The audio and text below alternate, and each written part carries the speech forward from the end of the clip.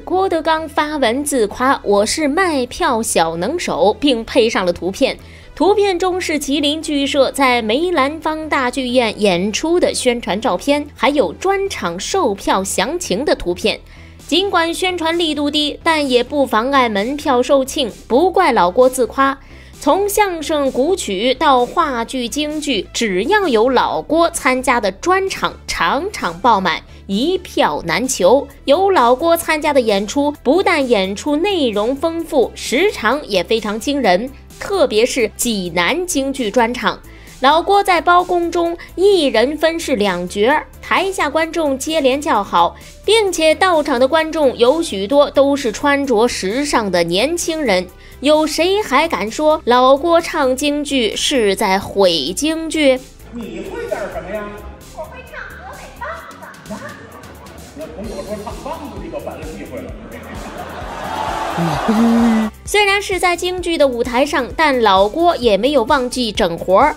如果没有郭德纲，有谁能想到京剧还能这样唱？还闹！你凭什么骂人？未曾骂人，你还踩我脚？哎呀，有人管没人管呐！舞台上直接躺地下碰瓷可还行？除了碰瓷砸挂，也不能少了。哦，你叫大连呐？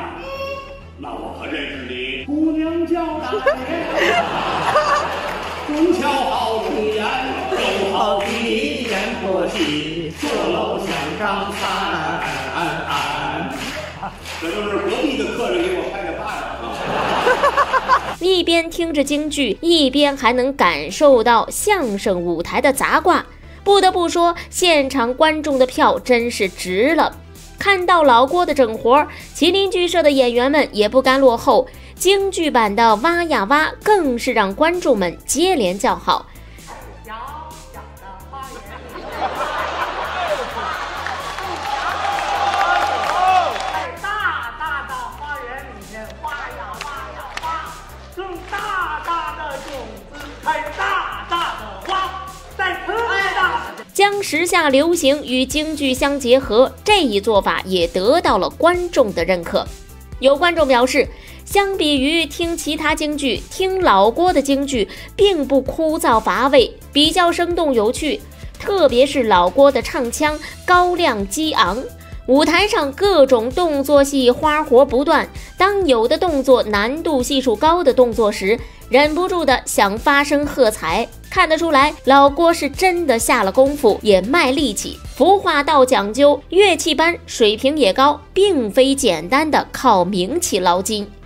老郭为了京剧也是下了大力气的。从麒麟剧社刚刚成立，只能卖出去九张票，入不敷出，到如今的一票难求。除了郭德纲和陶阳的流量带动。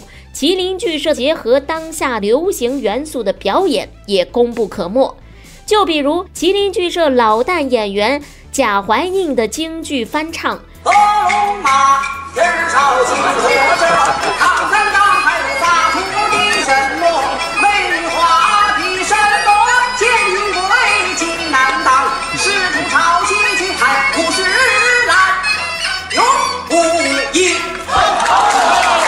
除此之外，麒麟剧社结合当下流行的歌曲，在舞台上跳起舞蹈，也让观众连连叫好。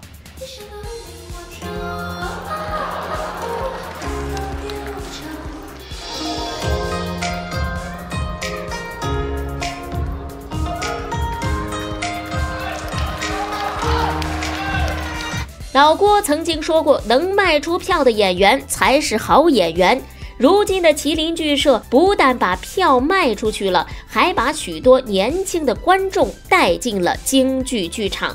如此卖力气的宣传京剧、培养京剧人才，有谁还敢说老郭是在毁京剧？